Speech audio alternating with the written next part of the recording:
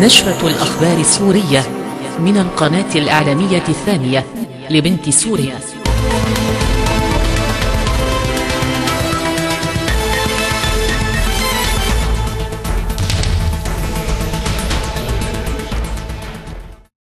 وحدات من القوات المسلحات تتقدم في الريف الشرقي لحلب وتستعيد السيطرة على عدد كبير من القرى والبلدات. مراسل الإخبارية وليد هنايا رصد المشهد العسكري في تلك الجبهة. تتسارع وتيرة العمل العسكري في الجبهة الشرقية لمدينة حلب. عمليات مكثفة استخدمت فيها قوات الجيش العربي السوري كافة الوسائط النارية والدور الأبرز. كان لسلاح الجو. عمليات أتت من عدة محاور قلص من خلالها الجيش العربي السوري. المسافة التي تفصله عن مدينة الخفسة في ريف حلب الشمالي الشرقي إلى تسعة كيلومترات. فيما يفصله حوالي ستة كيلومتر عن محطة ضخ المياه في ذات البلدة والتي تزود مدينة حلب.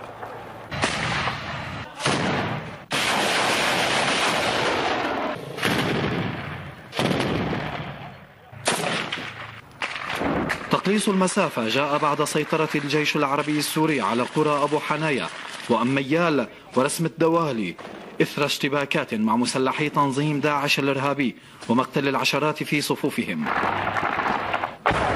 إلى ذلك دمرت وحدات من الجيش العربي السوري عدد من العربات المفخخة وطائرات مسيرة تحمل قنابل يستخدمها التنظيم التكفيري. هدف واضح بات للجيش العربي السوري أن يحققه بالوصول إلى مضخة الخفسة وإعادة المياه لمجاريها. وبذلك يتم تأمين مساحات كبيرة من الريف الشرقي لحلب. تتسارع وتيرة الأعمال العسكرية في الريف الشرقي من مدينة حلب مع اقتراب قواتنا المسلحة من مضخة الخفسة. مسافة ستة كيلومترات تفصل قوات الجيش عن خزان مياه حلب. وليد هناي الإخبارية السورية ريف حلب الشرقي. أعلن مصدر عسكري القضاء على عدد من إرهابي تنظيم داعش باستهداف مقراتهم وتحركاتهم بضربات الطيران ورمايات المدفعية في تلتي الصنوف والرواد ومعبر مظلوم والرشدية والبغيلية والصناعة وتلة السبعة عشر في دير الزور. كما دمرت وحدة من الجيش بؤرا لإرهابي جبهة النصرة واستعادت السيطرة على كتل جديدة من الأبنية في درع البلد. جولة على أبرز الأحداث الميدانية في هذا التقرير. تقدم سريع. تحققه وحدات الجيش العربي السوري في مناطق عدة وتدمر مقار للتنظيمات التكفيرية وتحصينات لهم بما فيها من إرهابيين وأسلحة. ففي دير الزور خاضت وحدات من القوات المسلحة بالتعاون مع القوات الرديفة اشتباكات عنيفة مع إرهابي تنظيم داعش في الأجزاء المتبقية من منطقة المقابر على الأطراف الجنوبية للمدينة. وذلك وسط تقدم ملحوظ في المنطقة ذاتها بعد القضاء على العديد من الإرهابيين وتدمير عدد من الدشم عند تلة علوش. كما وجهت وحدات من الجيش ضربات مركزة على تجمعات لتنظيم داعش الإرهابي قضت من خلالها على عدد من عناصره ودمرت آليات لهم عند مفرق منطقة الثردة جنوب المدينة. سلاح الجو بدوره. نفذ عدة غارات على تحركات ومحاور انتشار الإرهابيين في منطقة المكبات والمهندسين ومحيط لواء التأمين الإلكتروني. وفي جبل الثردة وتلتي الصنوف والرواد وتلة السبعة عشر ومعبر مظلوم وحيي الرشيدية والصناعة وقرية الإبغيلية. ما أدى إلى مقتل وإصابة العديد من الإرهابيين وتدمير عتادهم الحربي. وكمية كبيرة من الذخيرة. إلى درعا جنوبا حيث وسعت وحدات من القوات المسلحة نطاق سيطرتها بعد عمليات مكثفة على بؤر إرهابي تنظيم جبهة النصرة. وذلك بعد اشتباكات عنيفة استعادت وحدات الجيش خلالها السيطرة على عدد من كتل الأبنية في درعا البلد. كما دمرت دشمة رشاش ما أسفر عن مقتل طاقمه جنوب شرق جامع بلال الحبشي. دخلت فرقاطة أسطول البحر الأسود الأميرال غوروغوفيتش المزودة بصواريخ مجنحة من طراز كاليبر في قوام المجموعة الدائمة للسفن الروسية في البحر المتوسط وعلى أن تقوم بمهامها ضمن المجموعة بدلا من سفينة الحراسة سيميتليفي والتي عادت إلى ميناء سيفاستوبول. وقال رئيس دائرة التغطية الإعلامية في الأسطول الروسي الكابتن فيتشسلاف تروخافيتش إن التبديل بين القطعتين البحريتين جاء على أساس التناوب المبرمج. وكان تروخافيتش سبق وأعلن أن هذه الرحلة الفرقاطة الأدميرال غريغوروفيتش إلى البحر المتوسط هي الثالثة من نوعها حيث قام في تشرين الثاني الماضي بإطلاق صواريخ كاليبر من مياه هذا البحر على أهداف إرهابية في سوريا. موضحا أن المجموعة الدائمة للسفن الروسية في البحر المتوسط تضم الآن عشر سفن حربية.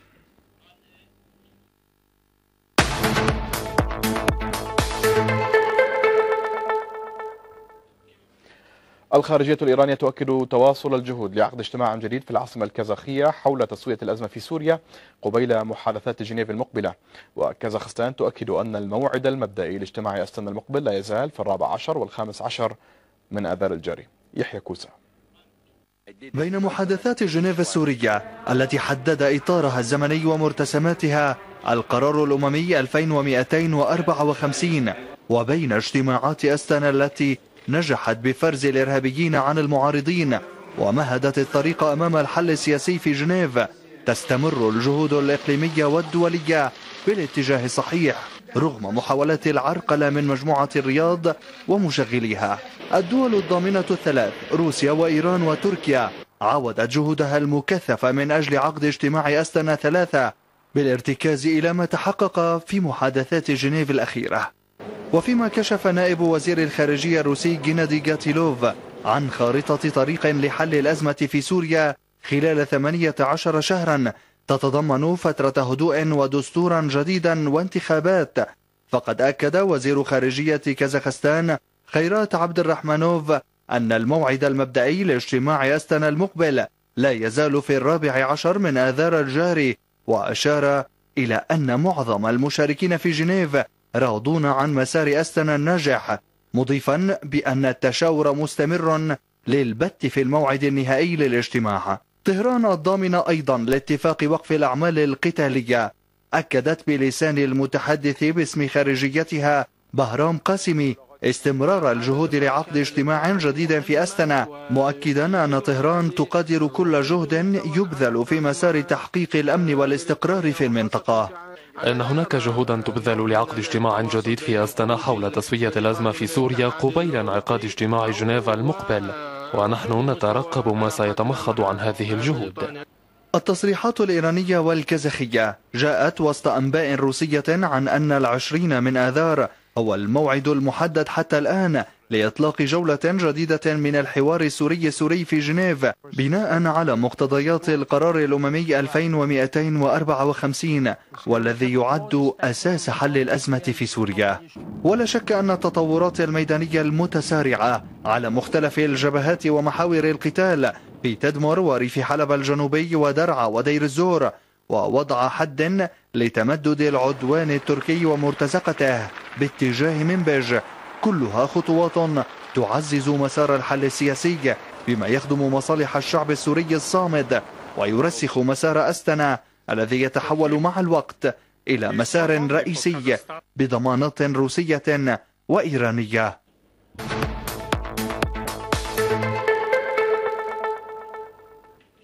أعضاء في المجلس الأعلى للقبائل الليبية يؤكدون أن سوريا تخوض معركة قومية للدفاع عن كرامة الإنسان العربي ضد الإرهاب والتبعية. التفاصيل في تقرير تفيد أبو الخير. أكدت الدكتورة هدية عباس رئيس مجلس الشعب أن الشعبين العربيين في سوريا وليبيا يخوضان معركة واحدة وأن الانتصار على الإرهاب هو انتصار مشترك بين سوريا وليبيا.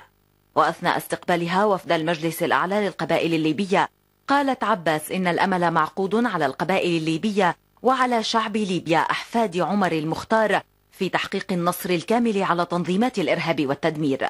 أعضاء وفد المجلس الأعلى للقبائل الليبية أكدوا اعتزازهم بصمود سوريا الأسطوري وبطولات جيشها وشعبها. طالبين من سوريا الاستمرار في الثبات والمتابعة في مكافحة الإرهاب لأنهم يعتبرون صمود الجيش العربي السوري قدوة لأبناء القبائل ويضعون أنفسهم في خندق واحد مع الشعب السوري. الوفود القبلية الليبية. جاءت لتؤكد على امتداد الشعور العربي الوحدوي القومي الممانع للمخططات الإمبريالية والصهيونية في المنطقة وتؤكد على دعمها لانتصارات سوريا ضد الإرهاب ومشاركتها في في أي شيء تطلبه سوريا من أجل القضاء على الإرهاب في القريب العاجل وأكدت أن الشعب الليبي مصمم وشكلوا جيشا باسم القبائل ليحارب الإرهاب في ليبيا وينتصر قريبا بإذن الله وتعود الوحدة العربية إلى علاقها السابق بإذن الله. نحن لا نستغرب من العشائر الليبية الموقف الطيب الإيجابي الذي يعتزون بسوريا وبمواقف سيادة الرئيس بشار الأسد الذي أصبح هو رمز لكل عربي فالعشائر الليبية عشائر أصيلة ونحن نعتز بهم.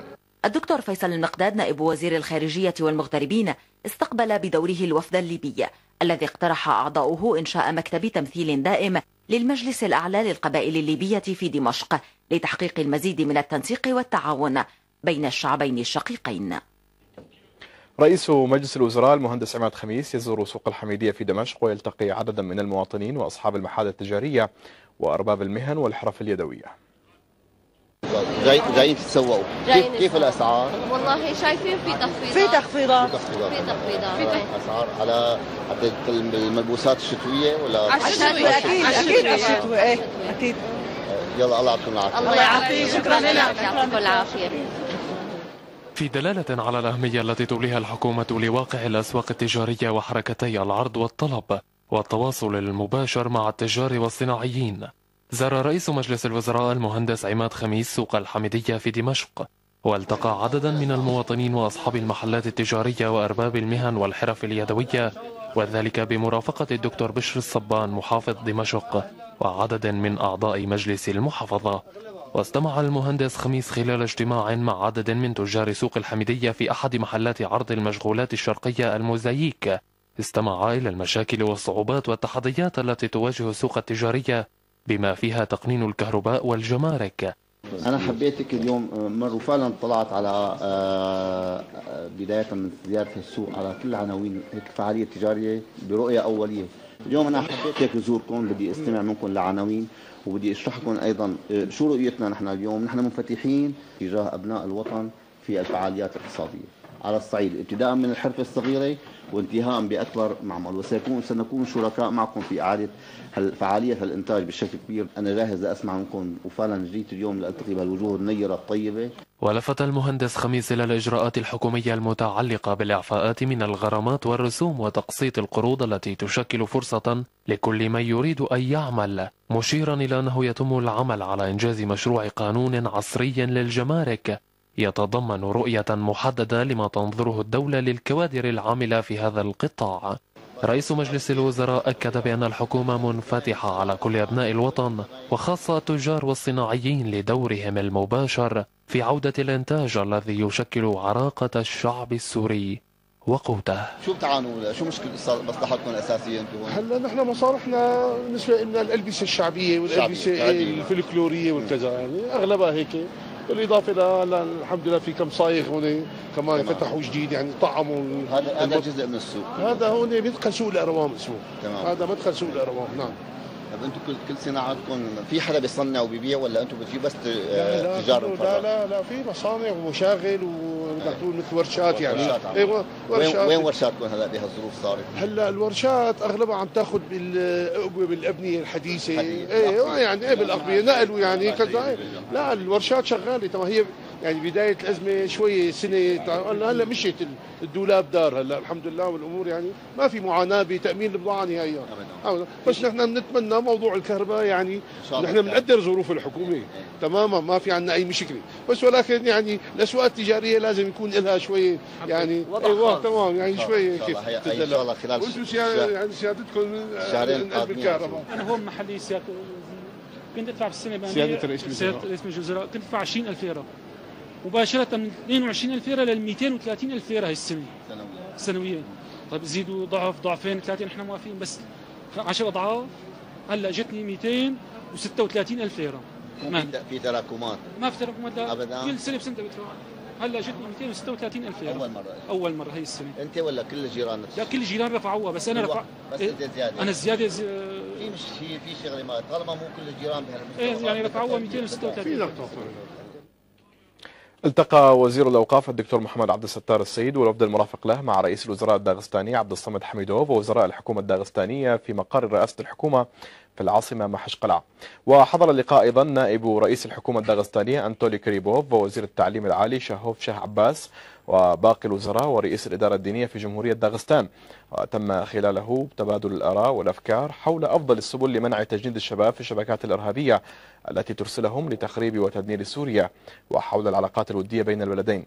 واختتم وزير الأوقاف زيارته إلى الجمهوريات الروسية بإلقاء محاضرة حضرها حشد كبير ضم الألاف من الخطباء والأئمة وطلاب العلم في العاصمة الداغستانية. تناول فيها الفرق بين الإرهاب والجهاد والدعوة إلى الإسلام بالأخلاق وشرحا عن الحرب الإرهابية على سوريا أسبابها وتداعياتها ونتائجها. استقبل المفتي العام للجمهورية العربية السورية الدكتور أحمد بدر الدين حسون وفدا من الجالية السورية في الكويت يضم رجال أعمال وأكاديميين. الدكتور حسون أكد خلال لقائه الوفد على أهمية الأخلاق في الظروف التي تمر بها سوريا مشددا على أن الحرب التي تشن على البلاد منذ ست سنوات تزامنت مع نهضة كانت تعيشها على الأصعدة كافة سواء الصناعية أو الزراعية أو التجارية وهو ما دفع أعدائها إلى استهداف بناها التحتية. وفي ذات السياق ذكر المفتي أن الإرهاب استهدف العقول المتمثلة بالأكاديميين والعلماء والباحثين بالإضافة إلى البنية الاقتصادية السورية. من جانبهم أعضاء الوفد الذين حملوا في جعبتهم حزمة مشاريع استثمارية يعود ريع بعضها لأسر الشهداء. يبقى الانتماء هو الحافز الأساسي ويبقى الصلة الأساسية بالوطن. الانتماء ليس بشعار أو كلمة أو قول. الانتماء هو أمر آه، سلوكي وهو أمر يرتبط بالوجدان فالمغترب هو ذلك الغصن الذي يمتد من وطنه إلى الخارج.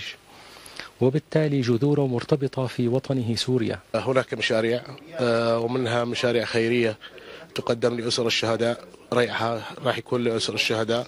وهناك مشاريع أيضا آه، تختص للمواطن السوري حصرا. نحن ما نطمح له أن يكون السوري هو من يعمر بلده. الخطط كثيرة وبدأ الباب يفتح على مصراعيه لعملية الإعمار في الجمهورية العربية السورية.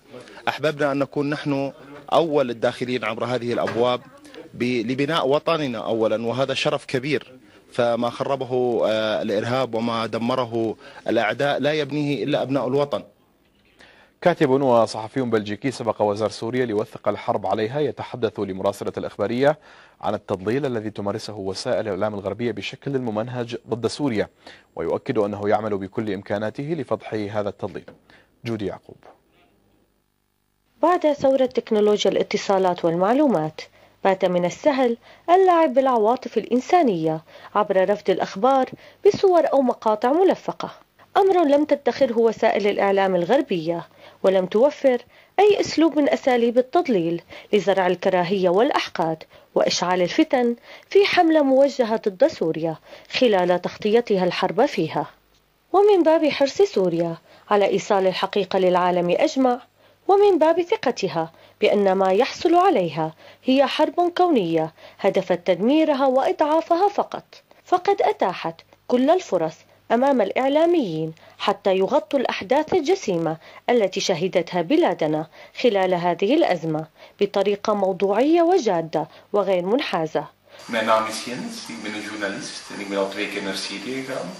اسمي جينس وأنا صحفي. زرت سوريا مرتين. منذ عامين ذهبت إلى سوريا للمشاركة في مؤتمر Step Up for Syria الذي أقيم في مدينة دمشق. وهناك استطعت أن أسمع القصة من السوريين مباشرة. زرت دمشق ومعلولة وصيدنايا رأيت حضارة عريقة وتاريخا عظيما. وبنفس الوقت رأيت كل ما فعلت هذه الحرب بسوريا وشعبها. عدت عام 2016 في رحلة ثانية إلى سوريا. وكتبت كل القصص التي سمعتها بالإضافة إلى تجربتي في كتاب سيصدر هذا العام. يانس ديريكا هو كاتب وصحفي كان واحدا من الذين دخلوا إلى سوريا خلال فترة الحرب. وهنا ومن منزله في بلجيكا أخبرنا كل الحقيقة التي شاهدها ولمسها هناك. في البداية لم أكن أعلم الكثير عن سوريا. كنت أعلم عن الحرب الدائرة هناك وكل ما كان يجري عرضه على الوسائل الإعلامية. لكن بعد لقائي بأشخاص سوريين تعلمت أكثر عن اللعبة السياسية القذرة التي تلعبها تركيا والسعودية ودول الخليج الأخرى بالإضافة إلى الدول الغربية طبعا. وأن الشعب السوري هو الضحية الوحيدة والخاسر الوحيد في هذه الحرب. وأنا اليوم أحضر لأعود لزيارة سوريا مجددا. لقد وقعت في غرام سوريا وأضعت قلبي فيها. الأرض وشعبها رائعان وأشعر بالأسف للحرب الحاصلة هناك. وأتمنى أن نستطيع إيقاف هذه الحرب من خلال عرض الحقيقة. لذا فقد قدم الكثير من الشباب الأوروبي الباحث عن الحقيقة التي جاءت خلافا لما نقلته وسائل الإعلام الغربية.